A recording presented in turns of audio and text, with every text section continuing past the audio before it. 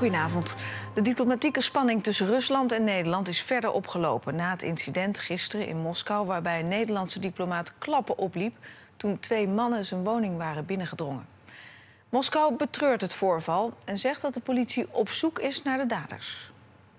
В Москве выражают сожаление в связи с прискорбным инцидентом, произошедшим вечером 15 октября, когда в собственной квартире двумя неизвестными был избит советник-посланник посольства Нидерландов в Москве господин Элдерен Бос.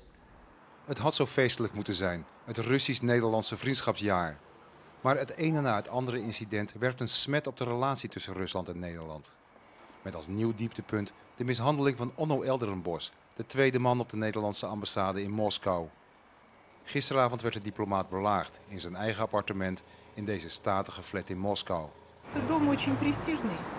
Его хорошо отремонтировали. Хорошо, хорошо. И кто сюда приехал, это большая тайна. Volgens Russische media deden twee mannen zich voor als elektricien en drongen de woning binnen.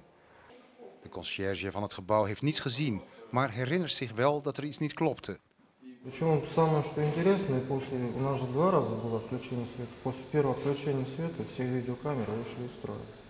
Op foto's is te zien dat het huis overhoop is gehaald. De spiegel is beklad met lippenstift, een hartje en de letters LGBT, een Engelstalige afkorting voor de homoseksuele gemeenschap.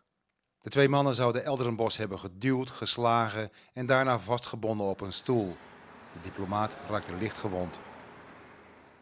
Minister Lavrov van Buitenlandse Zaken zegt dat hij geschokt is over de mishandeling. En geschokt zijn ze ook in de Tweede Kamer. Sommige partijen pleiten er al voor om de betrekkingen op een laag pitje te zetten.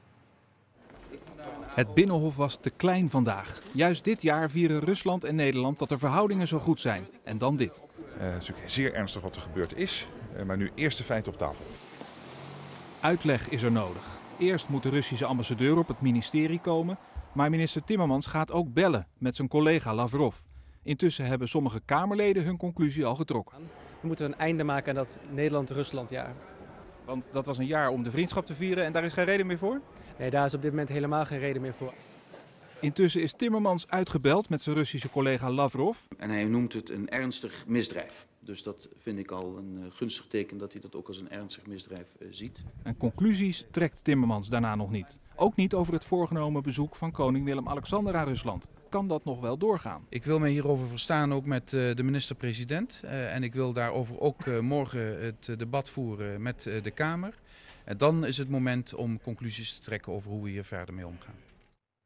Ja, in eh, Moskou. David-Jan Godfra, David-Jan Timmermans blijft rustig, maar doet de verhoudingen in ieder geval geen goed, toch?